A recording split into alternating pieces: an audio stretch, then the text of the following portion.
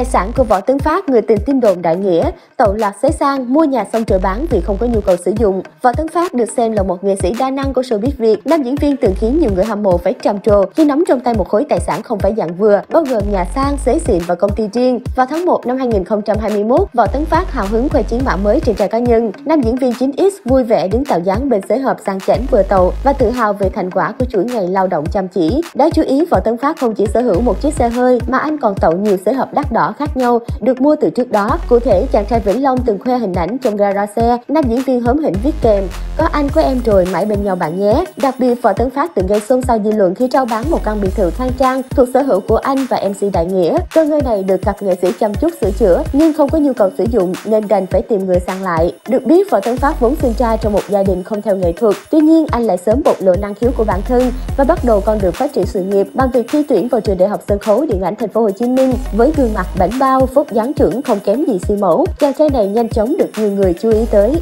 Dấu mốc đầu tiên đánh mốc việc nam diễn viên bước chân vào showbiz Việt là năm 2017. Thời điểm ấy, anh tham gia cuộc thi cười xuyên Việt và xuất sắc giành giải quán quân cùng giải thưởng 200 triệu đồng. Chưa dừng lại ở đó, đến năm 2018, Võ Tấn Phát còn tiếp tục thử sức ở game show cặp đôi hài hước và đạt danh hiệu cao nhất, thừa thắng xông lên. Năm 2019, Võ Tấn Phát đăng ký chương trình Gương mặt thân quen. Dù không tiếp tục đạt vị trí top 1, nhưng với tài năng của bản thân, anh chàng đã đạt giải ba. Đến năm 2020, tại cuộc thi én vàng nghệ sĩ, nam diễn viên một lần nữa bỏ túi giải thưởng quán quân danh giá. Trong một cuộc phỏng vấn, Võ Tấn Phát từng chia sẻ rằng anh cảm thấy bản thân may mắn khi có cơ hội tham gia nhiều chương trình truyền hình để đến gần với khán giả hơn. Chưa kể chàng trai miền Tây này từng cộng tác với sân khấu kịch Thế giới trẻ, kịch Quốc Thảo, kịch Hoàng Thái Thanh, kịch 5B với vai trò là diễn viên hài để tích thêm kinh nghiệm. Bên cạnh sự nghiệp thăng hoa, nhắc đến đời tư diễn viên Võ Tấn Phát, khán giả còn nghĩ tới mối quan hệ thân thiết của anh với MC Đại Nghĩa. Cặp đôi thường xuyên công khai xuất hiện bên nhau trong nhiều sự kiện lớn nhỏ và bị soi ra nhiều hiên hẹn hò như mặc đồ đôi, đi du lịch chung và rất quan tâm nhau sau hậu trường.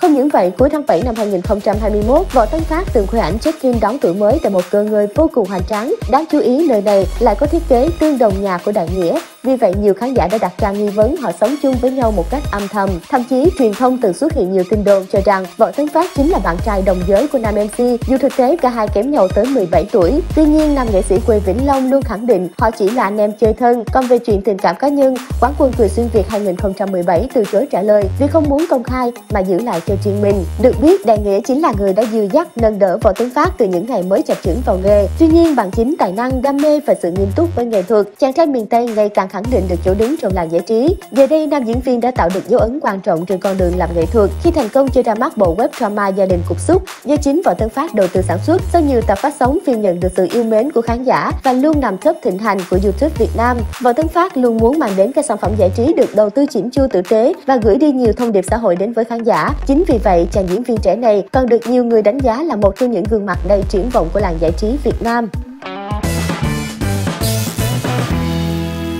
Nếu các bạn là người đang rất đam mê phim ảnh và cần một nơi để cập nhật tin tức mỗi ngày thì điện ảnh.net là nơi dành cho bạn.